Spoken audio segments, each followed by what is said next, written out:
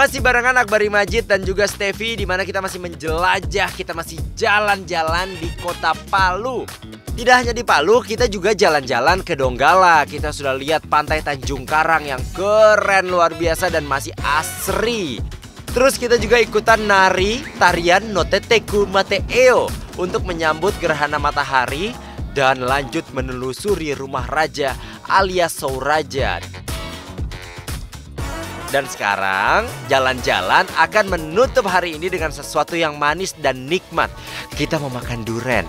Duren, duren, duren, duren dijamin rasanya enak, manis dan karena lagi musim ya murah, asli murah banget. Wah. Sekarang kita udah ada di tempat duren. Duren. Eh tapi beruntung banget ya kita lagi di Palu pas lagi musim duren. Duren. Asli musim duren sama satu lagi sih yang lagi di Palu di musim Apa? musim kawin. yang ini berapaan? Ini 20. 20. Oh, oke. Kalau yang kecil gitu? Oh, ini udah pasti manis jaminan. Bohong. Bohong. Cobain dulu manis mana? Gimana? Kalau nggak manis boleh tukar. Mana? Boleh ditukar. Boleh ditukar kalau nggak. Coba mau dong yang 20 nyobain. 20 ribu coy. 20, Pak. 20 biji. Eh jangan. Tapi pasti nggak manis. Manis. Coba. Tanggung amat kayaknya. kan. Hmm,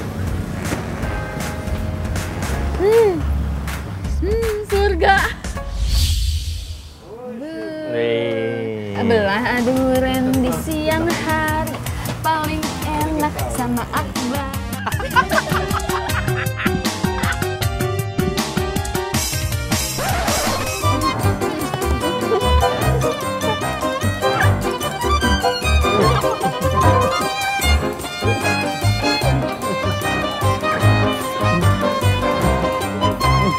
Harus makan durian. Iya, Bau banget kan? bau.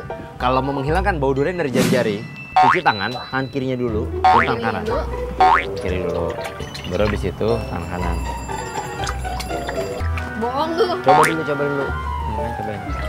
Baru tangan kanan. Terus tangan kanan. Yes. Cium, cium. Ya kan, gak bau kan?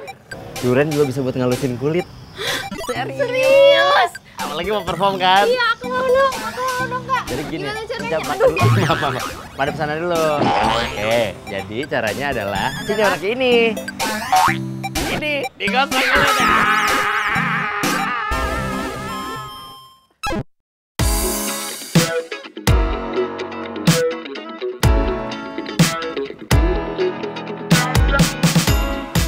Usai sudah perjumpaan kita di jalan-jalan hari ini di mana kita sudah mengulik, mengupas dan kita udah jalan-jalan keliling kota Palu dan Donggala.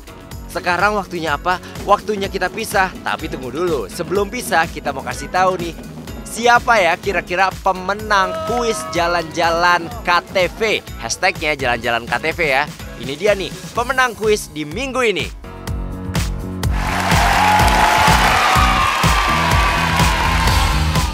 Untuk kamu yang menang nanti akan dihubungi oleh teman jalan-jalan.